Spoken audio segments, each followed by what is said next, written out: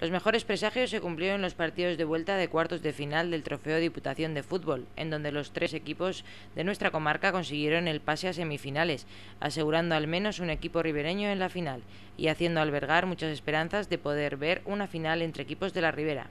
Quemada, que a priori era el equipo que más difícil lo tenía, no tuvo problemas para remontar el 1-0 adverso de la ida ante Sotrajero al que venció por un contundente 4-1. Los ribereños fueron muy superiores en todo momento a su rival y en ningún momento vieron peligrar su clasificación.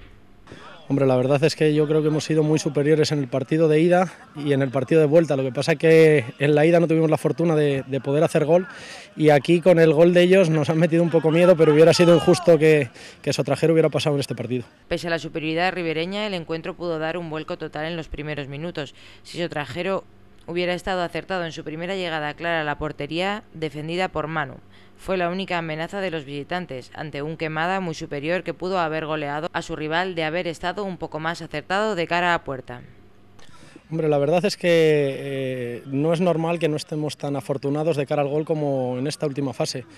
¿Hubiera sido injusto? Igual no, que en la primera oportunidad Sotrajero hubiera marcado el 1-0 o el 0-1 pero yo creo que a lo largo del partido las cosas cada uno ponen a nuestro sitio y nosotros somos mejor equipo ahora mismo que Sotrajero y deberíamos haber pasado aunque se hubieran puesto 0-1.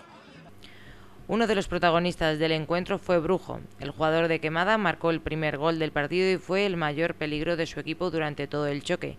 También destacaron Huevo, autor del segundo gol, y Romero, que con dos dianas sentenció el encuentro.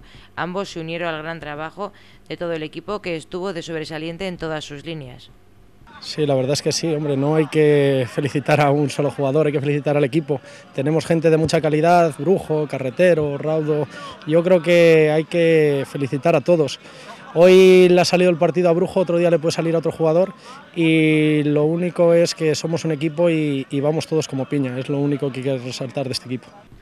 Quemada está cumpliendo con las expectativas que había creado al inicio del campeonato. El conjunto ribereño, formado por jugadores de diferentes localidades de nuestras comarcas, ha conseguido conjuntar de forma muy rápida a una plantilla prácticamente nueva que en su primer año en competición aspirar a hacer el título del trofeo Diputación de Fútbol, siendo uno de los equipos que mejor fútbol practica del campeonato es complicado formar un equipo con 22 jugadores como tenía esta plantilla.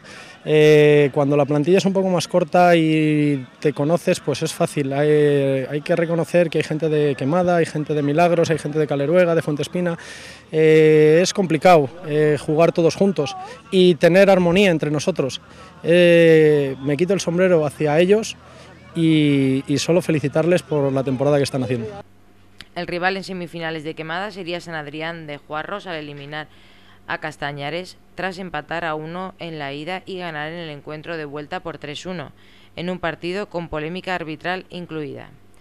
En el otro lado del cuadro se enfrentarán en semifinales dos equipos de nuestra comarca, Roa, que no tuvo piedad, de Mazuelo de Muño, al que ganó por 5-1 tras empatar a 0 en la ida. Se enfrentará a Moradillo de Roa, que supo administrar el 2-0 que traía de Ubierna para conseguir su clasificación para semifinales pese a empatar en su terreno de juego a cero.